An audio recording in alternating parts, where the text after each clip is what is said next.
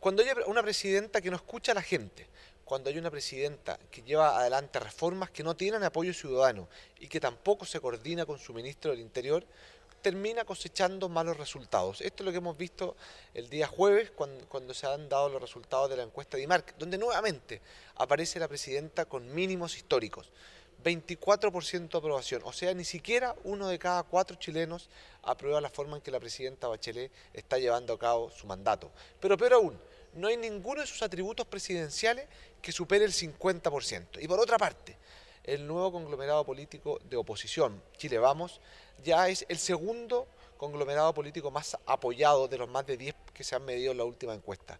Esto revela que la gente quiere oposición y quiere un cambio. Y quiere una oposición que haga propuestas concretas para, que, para poder solucionar en parte los proyectos que ha, realizado la presidenta Bachelet.